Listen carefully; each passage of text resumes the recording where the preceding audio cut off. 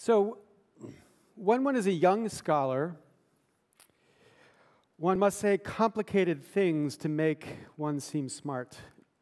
But when one is an old scholar like I am, you can afford to say simple things, and people don't think you're stupid. So, what I want to say today is a bunch of simple things, and I hope you don't think I'm stupid because I'm frustrated, not stupid. I'm frustrated by the fact that so long into this debate, certain simple, obvious points have yet to be recognized. So here's the first obvious point there is an internet. There is an internet, and it does things. It makes things possible. It makes not possible things possible. Well, here's an example. There's an artist, his name is Kutiman. Here's him describing his One, project. two, three, four. One, two, three, four. Welcome to Thru You. Uh, I would like to thank all the people and artists that took part in this project. So here's the project he's talking about. It's a project called Thru You. And what Thru You does is take snippets from videos on YouTube, thousands of videos on YouTube, and puts them together in new artistic works. Here's a little bit of it, one example. Well, what can I do? You could play that 16th note groove just straight. Going. You'll be amazed. Okay.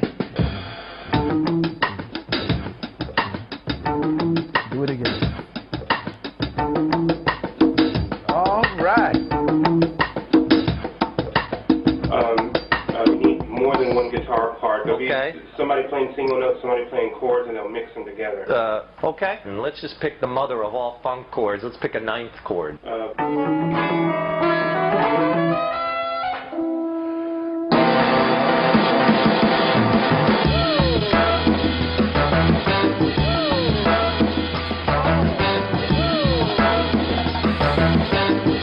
here's another example. I'm sure some of you saw this incredible film from 1985, The Breakfast Club, John Hughes's classic. Some of you might know this music by the band, uh, uh, by the band Phoenix Lisztomania. Someone inspired by both of these decided they'd try to remix The Breakfast Club and Lisztomania together. This is what they produced.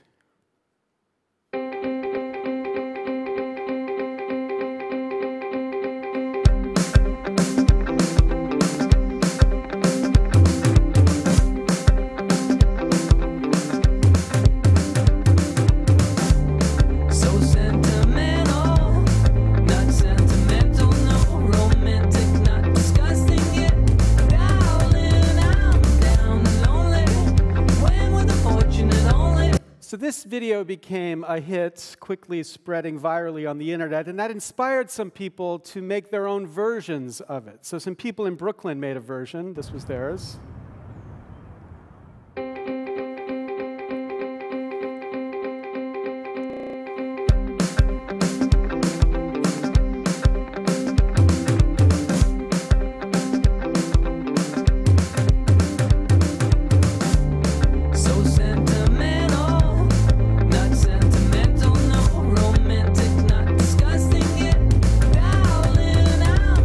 And then San Francisco had to take up the charge.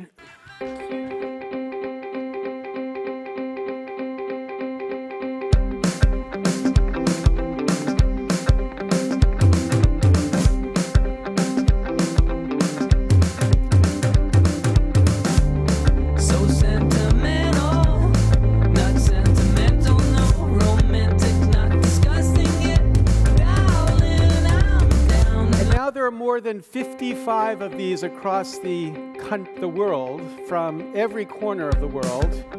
Cousins, too, I don't know what that is. But anyway, everybody across the world remaking the same creativity, expressing the same sequence of innovation. Or here's another final example. This is a man named Bo. It's a great thing about America. You can be a man named Bo. So here he is, a man named Bo. He comes from Vermont. And in Vermont, they grow kale, the vegetable kale. So he decided he would set up this website to sell handmade t shirts, and his handmade t shirt says, Eat more kale. This is a company, Chick fil A. They have many stores like this. They don't like gay people much, and this is their horrible food. Um, but they have a really clever advertising theme. See these cows painting Eat More Chicken. Okay, so this was cute, this is clever, but you might notice, notice a similarity between Eat More Chicken and Eat More Kale. And they noticed it too.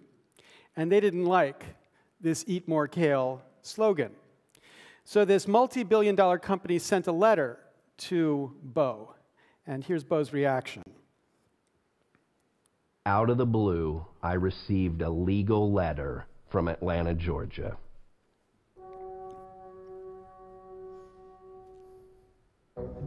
It knocked the wind out of me. I felt like I had been punched. I had to reread the letter again and again. I'd never seen a letter like that before. Time now for the ridiculous, and tonight we're adding a David and Goliath story we like to call Chick fil A versus the t shirt guy.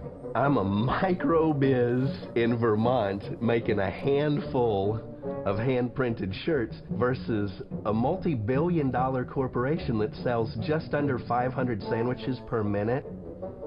The company is threatening to shut the guy down because it says that Eat More Kale is too close to its Eat More Chicken slogan. They feel like they own the words eat and more. And the thing is, is more isn't even spelled correctly. Chick fil A managers wouldn't go on tape, but in a statement they said they'll continue to protect their trademark until the artist stops printing his kale t shirts and turns over his website. To be told by some billionaires in the deep south that it has to stop? Are you kidding me? They've done it to others. They gladly sent me a list of 30 others that they've shut down. It's sort of like the, you know, the bully at the schoolyard. You know, basically he tells you what to do and you're going to do it or you're going to get your nose in the dirt. Please, Chick, better. Don't do it anymore. Are you gonna be on my side if I let you up? Sure, Chick, sure. I'm on your side. Chick-fil-A, get out of the way. You're hurting a lot of businesses, and this is a big deal for a lot of people. Is that true? Are you going to sell that to us? You got a guy making t-shirts in Vermont. Who the hell do they think they are? That's not what this country was based on.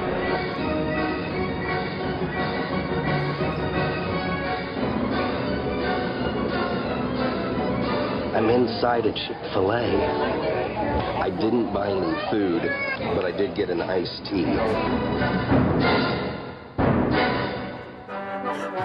I want to be the guy that stands up to him and, and wins and, and says, I'm not taking your bullshit. I'm not going to back down just because you say I should. Okay, so James Lantz wanted to make this as a real documentary. That's just a trailer. So what they did is they took this trailer and they put it up on Kickstarter, which of course is a platform to enable artists to fund their creativity through contingent commitments. People say, I'm happy to promise $100 if you get the amount of money that you need to do your project. So they put their post up, and within three months, they raised all the money they needed to get the documentary going. And here's the striking thing about Kickstarter. Last year, the NEA, the National Endowment for the Arts in the United States, giving grants to artists across the United States, this is the federal government's project, raised $157 million, which they gave to artists. In the same period of time, Kickstarter raised $200 million to fund new art projects. All right, now take these examples. Here's the point of these examples. None of these stories would have been possible before the internet. This story would not have been possible because there would not have been a YouTube to gather the clips together to make this creativity. This story would not be possible because kids would not be inspired from around the world to remake this video. They never would have seen such a video. And this would never have been possible because in Vermont, nobody could have found 1,976 people to fund this new documentary. It's only because it can speak to the whole world that they can find the people necessary to fund this documentary. The net makes things possible, makes things that were not possible possible, makes creativity that was not possible possible. And here's the second obvious point then this fact should be relevant to culture policy. Okay, now, I said there's an internet, doesn't seem controversial, but what is this internet? How should it be understood? And I think we have to recognize it as a capacity, a technology that connects and empowers and produces an opportunity that would be impossible without it. And then we step back and say, is that good? Should we encourage it? And here I'm going to demonstrate my fluency with Swedish. Yeah. thank you, thank you. All things being equal, yes, obviously, all things being equal, we should support liberty over restriction, unless there's some great harm. So, what could the harm be? Well, people point to lots of potential harms from the internet to privacy to anonymity, whatever. I want to talk about the harm from copyright. What is the harm from copyright that might lead us to shut down this opportunity for creativity? Well, copyright, of course, has inspired an explosion of what people call, quote, piracy. And the fight between the copyright maximalists and the pirates has led many people to begin to call themselves abolitionists. People who believe that copyright should be abolished, it's no longer necessary, especially in a digital age. I am not an abolitionist. I believe copyright is necessary, and the reason I believe it is an obvious point that all of us should recognize. Copyright, in my view, is a necessary regulation necessary to solve what economists call externality problem. Now, what's externality? Well, let's go to the source of all human knowledge, Wikipedia. And what Wikipedia tells us is an externality is a, an impact, positive or negative, on any party not involved in a given economic transaction. So, negative externality, loud noise from a concert, the horrible fumes from a pig farm, the carbon spewed into the atmosphere from coal fired power plants. These are negative externalities. And then positive externalities are the good done, for example, by bees by pollinating farmland, the good done by children suffering vaccination to keep other people healthy, and the good done by artists in creating culture. These are positive externalities. They benefit people, not part to the transaction. Externalities, which cause, the economists think, problems. And the problems they cause is a problem of supply. The unregulated market produces what economists say is an inefficient supply of these externalities. For negative externalities, an unregulated market produces too many of them. For positive externalities, an unregulated market produces too few of them. So, what we need is regulation to, quote, internalize these externalities. So, for example, we need a carbon tax to limit the amount of carbon that companies spew into the atmosphere, leading to global warming. And in the context of a positive externality, we need the regulation called copyright. Now, that's obvious. It should be uncontroversial. Fourth obvious statement we need copyright, and then a little bit of the academic addition to remedy positive externalities. But less obvious is to recognize this point the regulation we need is a function of the technology. The right regulation is a function of the technology of the time. And as technology changes, the right regulation changes. Now, this too should be obvious, this too should be true, but with copyright, we seem to have forgotten this obvious point. We inherited a law designed for the analog age, and we fight to apply it to the digital age.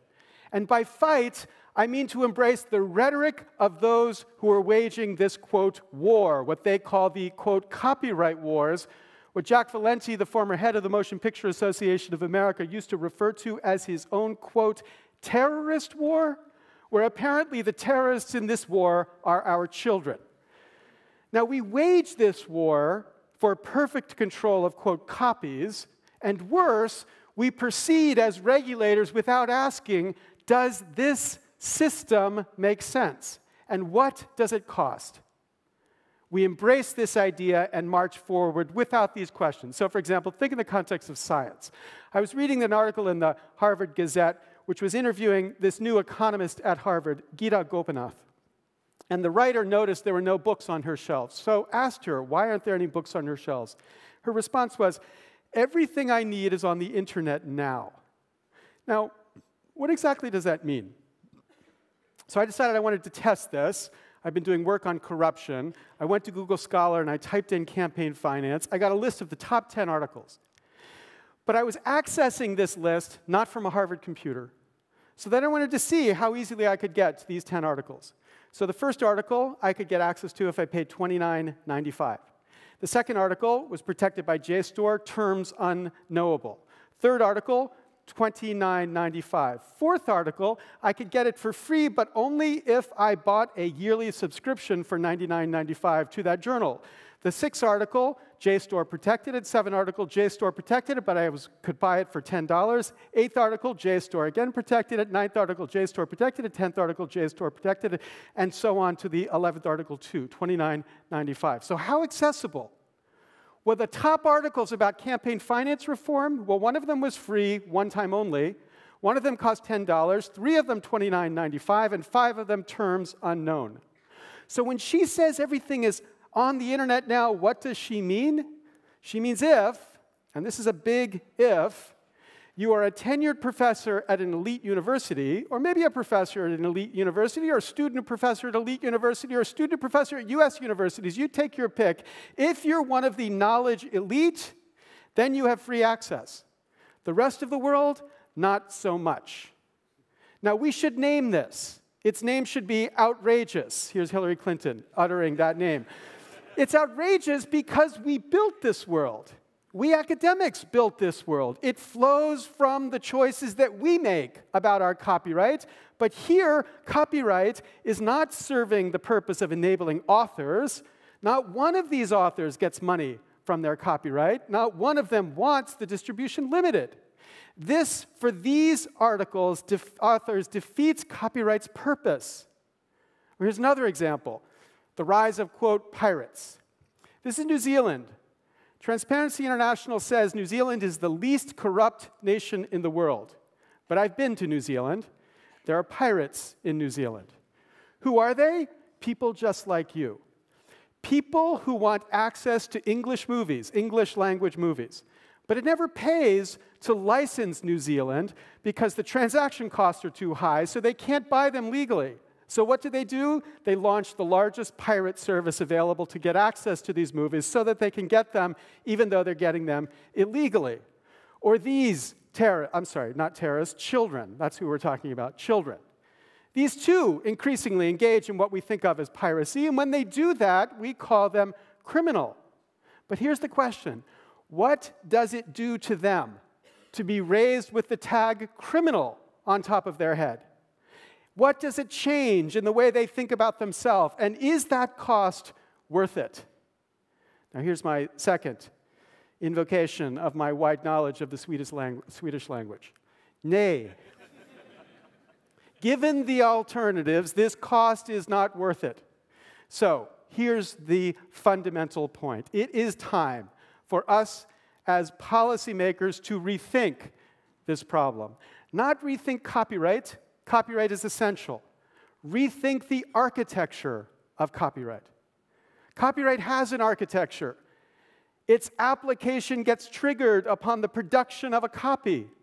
What we need to ask is Does that architecture best advance copyright's objectives to help and protect and support authors, given the architecture of the age, given there is an internet?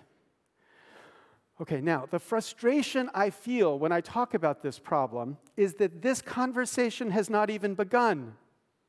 15 years after it should have been obvious to everybody, there is still no fundamental change in the way governments are talking about the architecture of copyright. No fundamental change in the architecture of its regulation. Why is that? Well, I think it's a combination of ideology and interest, but let's start with the interest first the interest of the most dominant policymaker in this space, the United States. And I want to tell a story, and all stories begin like this. Once upon a time, there was a place called Lesterland. You don't know because the introduction didn't include it because it's a secret, so don't tell anybody. My first name is actually Lester, so I'm allowed to make fun of Lester. So here I want to make fun of Lester's. I want to make fun of Lesterland. Lesterland looks a lot like the United States. Like the United States, it has about a 300 million people, and like the United States, 144,000 of those people are named Lester. So that means 0.05% of the United of Lesterland is named Lester. But in Lesterland, Lesters have an extraordinary power. There are two elections in Lesterland every election cycle. One of them is called the general election, the other is called the Lester election. In the Lester election, Lesters get to vote. In the general election, citizens get to vote. But here's the catch to run in the general election in Lesterland, you must do extremely well in the Lester election. Not necessarily win, but you must do extremely well. Okay, so here's the picture of democracy. What can we say about Lesterland? Well, the obvious point is the dependence upon Lesters that candidates have is going to produce a subtle, understated, camouflaged bending of their views to keep the Lesters happy. And reform that angers the Lesters in Lesterland is, we could say, highly unlikely. All right, that's Lesterland. Here's the point I want you to recognize the United States is Lesterland. The United States is Lesterland. The United States looks like this too. The United States also has two elections. One of them is called the general election, the other is called the money election. In the general election, all citizens get to vote. In the money election, funders of the elections get to vote by giving their money to the candidates who need their money to run in the general election. Now, to run in the general election, you must do extremely well in the money election. You don't necessarily have to win, but you must do extremely well. And here's the key to this analogy there are just as few relevant funders in the United States as there are Lesters in Lesterland. And you say, really? 0.05%? Well, here are the numbers. In 2010, 0.26%, one quarter of 1% of America gave $200 to a congressional candidate. 0.05% gave the maximum amount allowed under the law to any congressional candidate. 0.01%, the 1% of the 1%, gave $10,000 or more in a congressional election cycle. And in this presidential election cycle so far, 0.000015%, for those of you doing the numbers, that's 47 Americans, have given 42% of the super PAC money spent in the presidential elections to date. So you look at that range 0.26, 0.05, 0.01. I think it's fair for me to say it's the 0.05% who are the funders, and these are our Lesters. Now, like we can say about Lester land, this is what we can say about USA land. This dependence upon the funders is going to produce a subtle and understated and camouflaged bending to keep the funders happy. Candidates spend between 30 and 70 percent of their time raising money to get back to Congress. As any of us would, as they do this, they develop a sixth sense, a constant awareness about how what they do might affect their ability to raise money. They become, in the words of the X Files, shapeshifters, as they constantly adjust their view on what they know will help them to raise money, not on issues 1 to 10, but on issue 11 to 1,000. Leslie Byrne, a Democrat from Virginia, describes that when she went to Congress, she was told, quote, always lean to the green. Then to clarify, she went on, he was not an environmentalist. Okay, number one, they bend to keep the funders happy. And number two, reform that angers the funders is in this system highly unlikely. So, in that sense, USA is Lesterland. And in that sense, the United States system has become corrupted. Now, I don't mean corrupted by brown paper bags filled with cash. I don't mean Rod Blagojevich kind of corruption where you buy office through financial payments. I don't mean any illegal act. I'm not accusing anybody of violating the law. Instead, I mean corruption relative to our framers' baseline for how this system would function. The framers gave us what they called a republic, by which they meant a representative democracy. By which they meant a government that would have a branch, quote, dependent upon the people alone. So here's their model of government you have the people, you have the government. I do my own slides. It's cool the way that bounces like that, right? Okay. People and the government. An exclusive dependency, and so would the public good be found through that exclusive dependency. But the problem is, Congress has evolved a different dependence. No longer a dependence upon the people alone, increasingly a dependence upon the funders. This is a dependence too. But it produces different and conflicting dependence because it's uh, from a dependence upon the people alone, so long as the funders are not the people. Now, this corruption has an effect. It separates the people from the government, but most important to the issue here is it blocks the possibility of reform.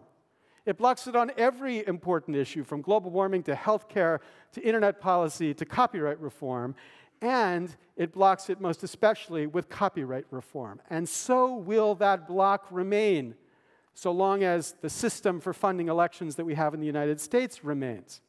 So when we look at interest in the dominant par- partisan policymaker, there is no chance this interest will shift anytime soon.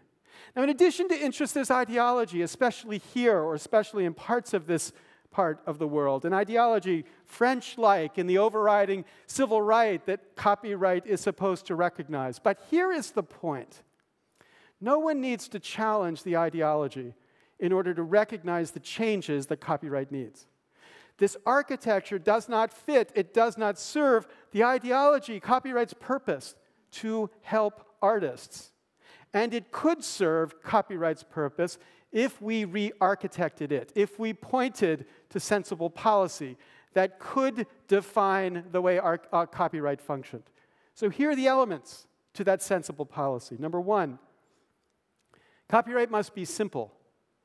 If it's meant to regulate 15 year olds, 15 year olds must understand it. They don't today. We have to remake it so that it's simple. Number two, it has to be efficient. Copyright system is a property system, but it's also the most inefficient property system known to man. You can't know who owns what. The basic promise of a property system is not delivered. You can't know who owns what. And the only remedy to that problem is to return to a system of formalities, not on creation. Let the artist get the copyright upon the creation of the great work, but in order to maintain the protection the government promises. The artist must do something to make it easy to know who owns what. Number three, the regulation has to be targeted. We need to regulate selectively and, as a consequence, deregulate a significant space of culture, leaving it free from copyright's control. So, if you think about the difference between copying something and remixing it, and the difference between a professional and an amateur, we get this matrix too academic, I appreciate, but okay, just bear with me.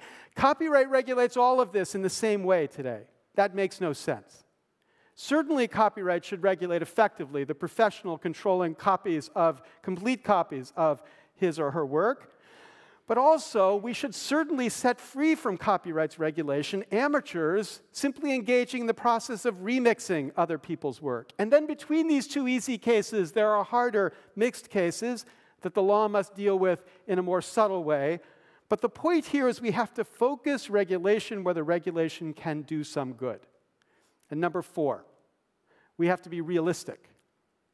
As we've seen the explosion of peer to peer internationally, the rise of what people call, quote, pirates, we need to recognize that this war that has been waged so effectively for a decade has been a total failure. Now, I recognize the response of some to a failed war, particularly the United States, is just to double down and to wage an ever more effective war against the enemy. But my argument is for the opposite.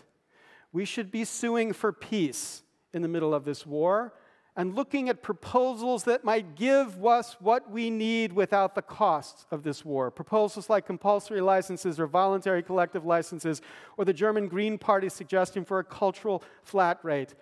And if we think about these alternatives, we can then recognize if we had had those changes a decade ago, how would the world be different today?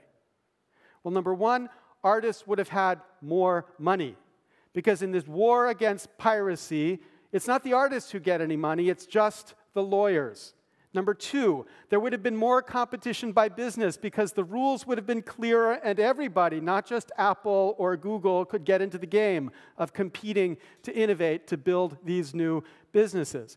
But most important to me, number three, we would not have a generation of, quote, criminals who have grown up recognizing themselves as criminals. These are the elements of reform. And now we need people to lead. The United States is hopeless as a leader here, so long as the United States remains Lesterland. But you, and if not just you, then the EU could lead here. There is an internet. It makes things, it creates. So we need to create for it a copyright policy that allows that creativity to be celebrated. Now, let me end with one final recognition. If you're here at this conference, you recognize this. We can't kill this creativity that we see coming out of this network, we can only criminalize it. We can't stop our kids from engaging in this kind of creativity. We can only drive it underground. We're not going to make our kids passive the way at least I was growing up. We can only make them, quote, pirates. And the fundamental question that democracies have to answer is is that good? In my country, kids grow up in this age of prohibitions. They constantly live their life against the law in wide ranges of their existence, against the law. But that is corrosive and corrupting to the rule of law in a democracy. We must lead now to end this insanity and push towards sanity that could give artists what copyright promised. Thank you very much.